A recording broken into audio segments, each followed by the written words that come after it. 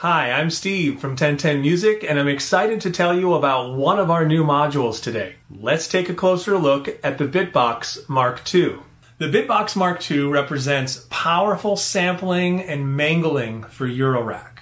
The Mark II is a significant upgrade to the original Bitbox. In the same 26 HP as the original, the Mark II offers the Eurorack enthusiast all of the features of the Mark I and the Micro, and its processor boasts double the processing power compared to Bitbox Mark I.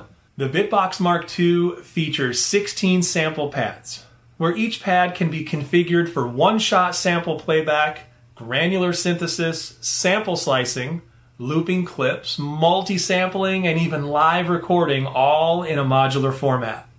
The Mark II features a 3.5 inch diagonal touchscreen that provides an intuitive user interface through various parameter screens for easy navigation.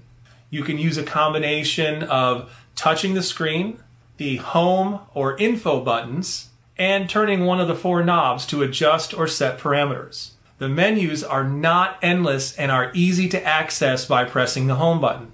Add effects inside the box with built-in delay and reverb. Modular users will be happy to learn that the Bitbox Mark II comes with a high quality delay and reverb. The delay can be synced to the internal clock, and both effects feature parameters that can be modulated from external MIDI or CV. The MIDI learn function makes it quick and easy to assign external controllers. Many of the parameters in the Mark II can be controlled or modulated from an external MIDI controller.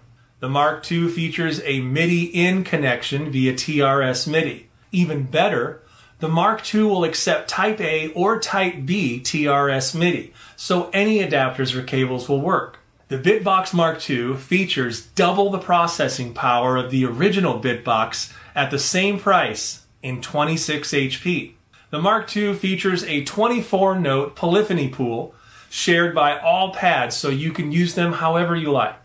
The Mark II also offers full support for stereo samples and recording in mono or stereo. The Mark II has a total of 16 inputs, where 12 are dedicated gate inputs to trigger pads. Four are shared gate or CV inputs to trigger pads or modulate internal parameters. You get four high resolution CV inputs for 1 volt per octave control or to modulate internal parameters. There are two high resolution audio CV inputs for audio recording or 1 volt per octave pitch control. You also get one dedicated clock input to sync to an external source. The Mark II also features two stereo or four mono outputs, and this is assignable in software. While the Mark II is optimized for 24-bit 48K audio, it can handle any bit depth or sample rate.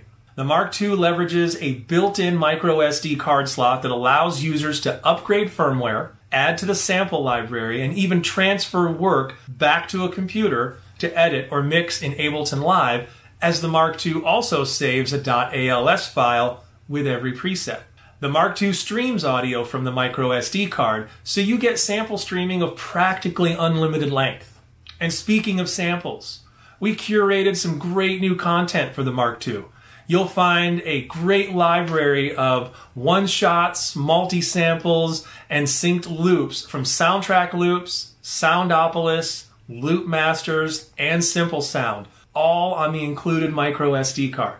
The Mark II also features our new multi sampling tool that allows users to create snapshots of any gate plus CV synthesizer or module.